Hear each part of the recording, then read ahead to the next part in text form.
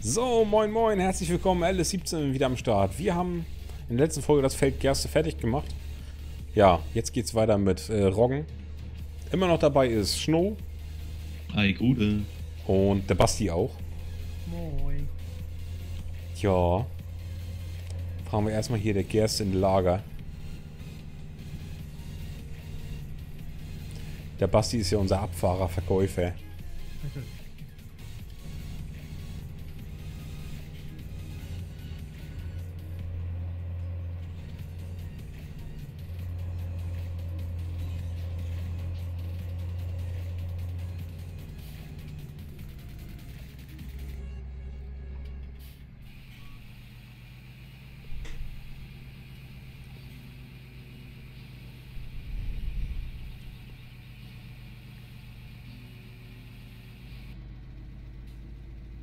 Oh, sorry.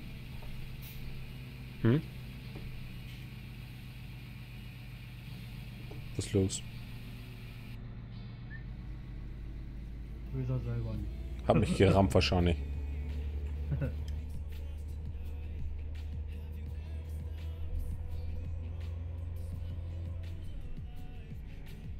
Ja, für Timos Traktor kriegen wir noch richtig Geld hier. Mit elf Ja, ne? Stunden drauf. für Balus kriegen wir noch mehr. Ist ja nicht Äh, schlimm, der ist ja schon. Ja. meine ich. Ja.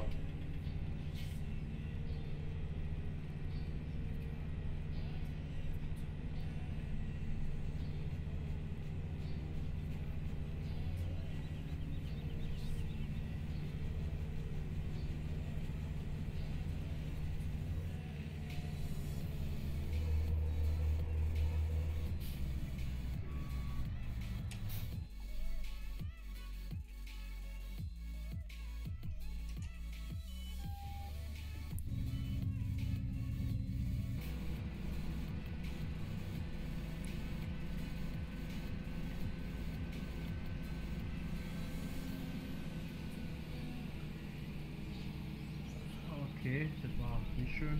Was? Ich stehe auf der Brücke aufgebaut. Nein. Eieiei, Basti, Basti, Basti. Kann sie doch nicht bringen. Nee, ich spiele gerade ein bisschen mit dem Gewicht rum und dann funktioniert es. Ah, okay. Na dann.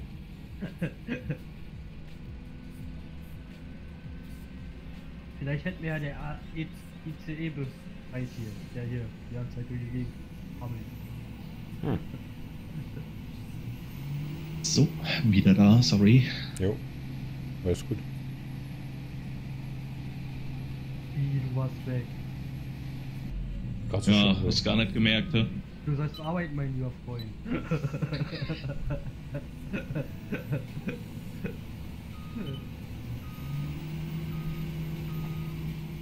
Pass auf, sonst lande ich hier noch im Burnout.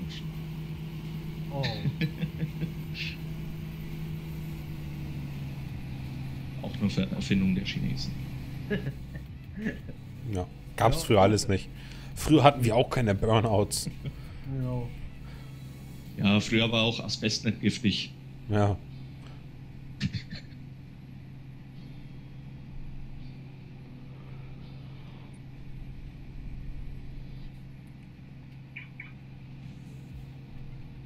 Früher gab es keine Allergien.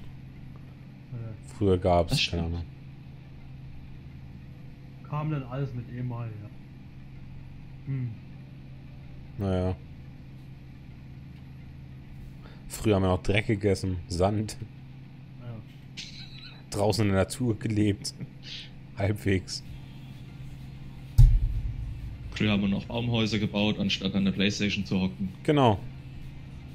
Damals mussten wir eingefangen werden draußen, heute müssen wir rausgetreten werden. Oder die Kinder, Ja, dass die mal vor die Tür gehen. ist ehrlich so. Ja, es ist eine ganz schlimme Entwicklung, finde ich. Ist nicht schön irgendwie. Aber du wirst es nicht aufhalten können. Nein. Ja, kannst ja auch nichts dagegen machen, weil das ist, weil es zum Beispiel schon im Kindergarten von den anderen Kindern vorgelebt bekommen. Ja. Da müssten, wenn dann, so, ich sag mal, alle Eltern an einem Strang ziehen. Sonst funktioniert das nicht. Ja.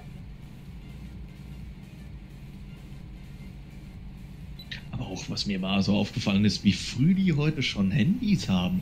Ja, ist Wahnsinn. Die gehen in die Grundschule und haben schon ein iPhone oder so. Ja, ehrlich. Heftig. Ja. Ich war, glaube ich, 15 oder 16. Sagen wir Genau, mal so so, auf, 15 auf einer, war ich, genau. Auf, auf eine Art finde ich es ja nicht schlecht.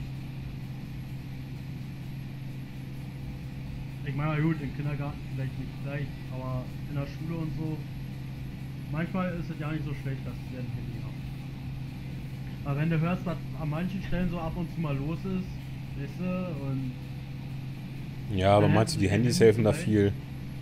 nö, Die filmen sich gegenseitig, wie sie andere Leute verprügeln. gut, Ja. also wir haben mal nicht nachgedacht, ne?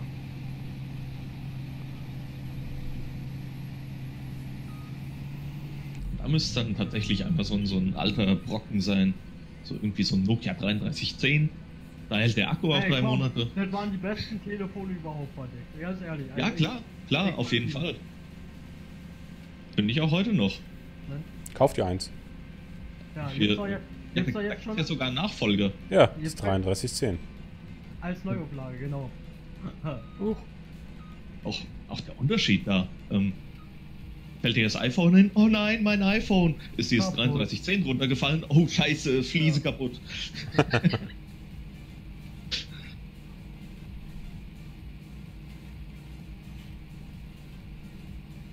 Gibt ja etliche so, so Spaßbilder, äh, wo zum Beispiel einer eine, eine schusssichere Weste aus lauter 3310s anhat.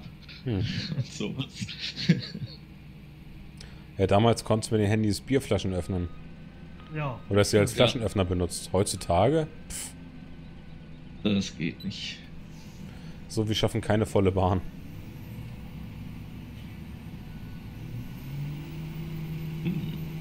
Hm. Ja gut, es ist ein paar Meter länger. Ja, ich fahre hier noch mal eine Bahn Vorgewände rein, vielleicht geht's ja dann. Und du hast ja da oben schon Vorgewände mitgenommen, oder? Nee, da hatte ich ja schon abgefüllt, abgetankt. Ja, wohl ein bisschen ertragreich hier. Dann mache ich noch zwei Bahnen Vorgewände. Mach mal hier noch zwei, ich mach oben noch zwei. Ja. Gucken, ob wir dann hinkommen.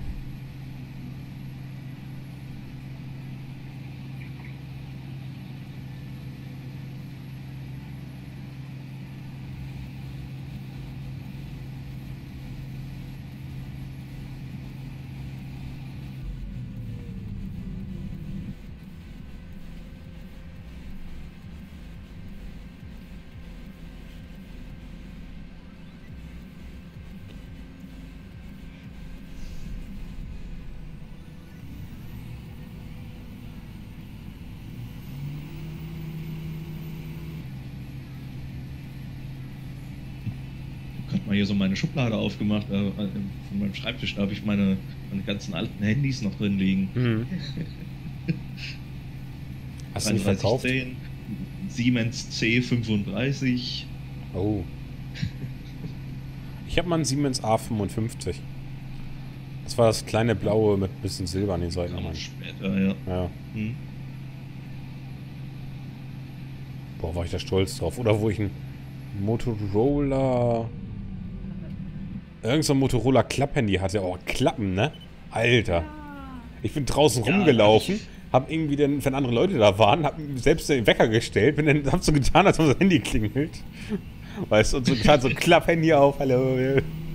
Oh. Nur weil man so stolz war, dass man ein Handy hatte, ne? Oh. Aber mein erste Klapphandy war von Siemens. Okay. Ich weiß jetzt nur nicht Eins von. Samsung. Oh. Samsung hatte Klapphandys. Ja. Oh. Schon wieder müde. Ich glaube, das, glaub, das hieß E720 oder so. Okay. Das bekannteste war das Razer V3. Ja. Das flache. Ja, das hatten sie ja. Das alle. wollten ja fast alle haben, ja. Ja. Ich wollte es auch haben, ich hatte es nicht. echt ansprechend. Ja. Ich auch nicht. Ja, ich war da, ich war da zu der Zeit, als die dann so langsam kamen, äh, war ich dann eher der Nerd. Ich hatte so einen dicken Nokia-Brocken, den du aufschieben konntest mit voller Tastatur und sowas. Ah, die Dinger. Ja. Ja, ja, kenne ich. Ich Ich hatte war da, damals, ich, ich Ich hatte damals hier so ein Windows-Handy noch von Nokia. Oh, Ja. Windows-Handy. Hab da nur nie ganz durchgesehen und der Akku, Junge, der hat nur vier Stunden gehalten oder so. Hm. War voll schlimm. ja. Na gut, Bastian, hat sich ja für dich nichts geändert im Vergleich zu heute. Na doch, weil letzten Endes fand ich das Nokia 3310 immer noch am besten. Und selbst heute, wenn ich die Möglichkeit hätte, würde ich sie ja nehmen. Kauft ihr auch eins, Nachfolger. Ja. Ähm, Geld, Geld. Das, das Ich- ich glaub, das kostet keine quasi 50 Euro. Ich hab, Genau, keine, ich hab keine Mutter mehr, die sagt, hier, schenke ich dir meinen Sohn. ich Was auch nicht. so? Und, und lass ich dir ja nicht in der Schule klauen, mein lieber Freund. Ja. Ich guck mal, wie teuer das ist. Komm bei Amazon. Oh, Vielleicht kommt jetzt 10 Euro. 57 Euro. Ja, habe ich doch gar nicht. Dual-SIM. Dual sind wir das super. Ja. ja, kannst mal sehen. Fette Scheiße. Mein, mein Handy muss immer 6 Jahre reichen. Und das ist erst Ich- anderthalb Jahre alt. Boah, ich habe meine Handys nicht so lange. Ja, alle War ich- zwei Jahre alt. Naja, weil ich die so intensiv nutze, sage ich mal, gönne ich es mir, dass ich alle wirklich alle zwei Jahre ein neues Handy habe. Na, ich ja nicht. Also, Ja, hat man einen Vertrag, man, man bekommt es halt für Lau vom Anbieter. ja klar. Alle 18 Monate, glaube ich, bei Vodafone oder so. Ich meine mal, ich habe ja auch Vertrag genommen, aber ich wollte es halt nicht. Ne? Ich habe da ohne Handy genommen gehabt, weil. Ja. Für mich ist ein Handy nur noch zum Telefonieren und WhatsApp schreiben. Brauche ich nicht mehr.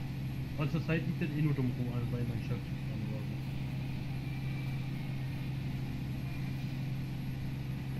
Damals war so anders, wo die ersten Touch-Telefone und so rausgekommen sind, saß ich ja nur davor. Musste ich alles ausprobieren. Oh, ich hatte damals noch so ein, so ein, das erste von Samsung eigene Betriebssystem, das Bada. Ne? Und dann Ja. warst du so ein Außenseiter. Dann hast du so, ein, so eine komische Software drauf gehabt, die keiner gehabt hat. Mit nichts kompatibel. Ja.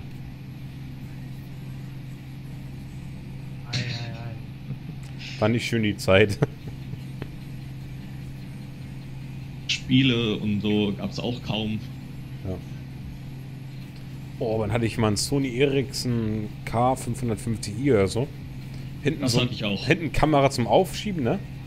Und Hammerbilder gemacht. Und das hat auch einen echten Blitz. Ja, das ja. hatte eine winzig kleine Xenon-Röhre irgendwie drin, so eine Blitzröhre. Ja, Das hatte ich auch, das Ding. ja, das war geil. In schwarz. Ja, ich auch.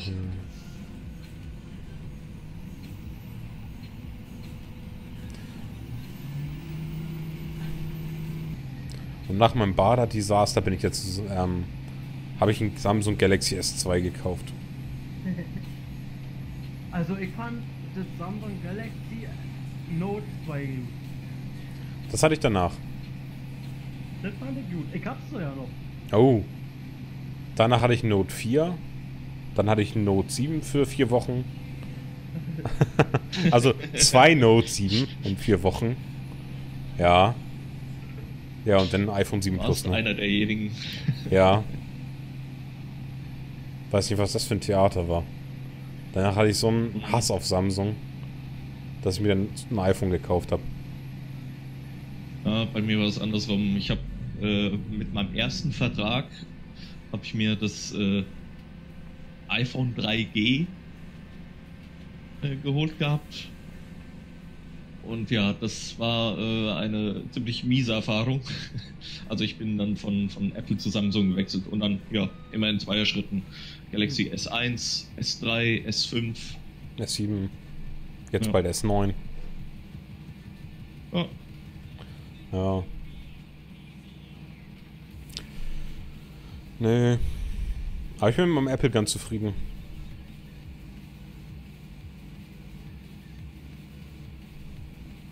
Ist halt nur eine ganz schöne Ungewöhnung, ne? Ja, definitiv.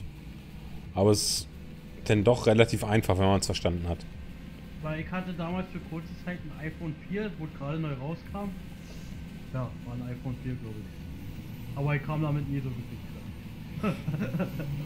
Ja, es, man muss sich wirklich reinfuchsen. Aber wenn du mehrere Apple-Geräte hast, zum Beispiel noch einen Laptop oder so ein iMac oder MacBook oder iPad, das ist halt, untereinander ist es halt genial, ne? Oder wenn du einen anderen hast mit dem iPhone, ne? Zu meiner kleinen Schwester jetzt zum Beispiel, der habe ich mal eben 100, 140 Bilder oder was rübergeschickt innerhalb von einer Minute. Über AirDrop, über Apples eigenes ne, System. Und da kannst du alle Bilder aussehen, die du aussehen willst. Dann sagst AirDrop, hier, bar, das iPhone, klickst drauf, nimmst du an, fertig, schieb da rüber, fertig. Geht ja mit Android auch, Ja. muss ich da verteidigend sagen. Aber bei Android. Wie machst du denn das da? Äh, über Wi-Fi Direct im Endeffekt. Ja, aber ich, aber ich meine, Apple war, Apple war, hat mich ganz schön überrascht, dass es so schnell war. Es läuft ganz gut. Also Ja. was, was das äh, WLAN, was das interne WLAN halt hergibt von den, von den Handys. Hm. Ach Leute, die nächste Folge schon wieder zu Ende. Jetzt fast vers versabbelt wieder. Ähm, Wenn es euch gefallen hat, lasst ein Like da. Ansonsten sehen wir uns morgen wieder. Haut rein. Tschüss.